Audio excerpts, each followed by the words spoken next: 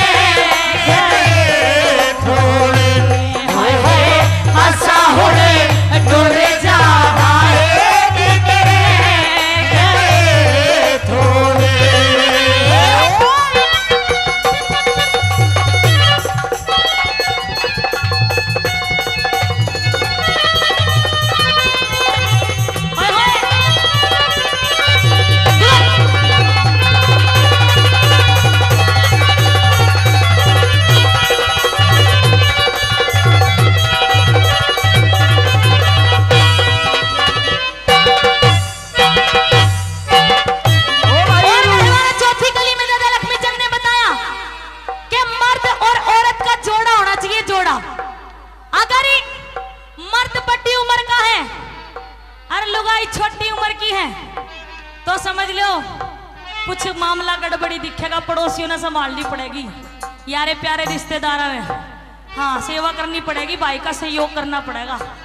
और अगर औरत बड़ी है, और मर्द छोटा है, फिर भी तुम्हें पता गड़बड़ घोटाले होते ही होते रहेंगे। इसलिए दादा लक्ष्मी चंद ने बताया कि जोड़ा होना चाहिए, जोड़ा। और कैसे जोड़ा होना चाहिए? चौथी कली मकती तोड़ कर दिया। बेटा!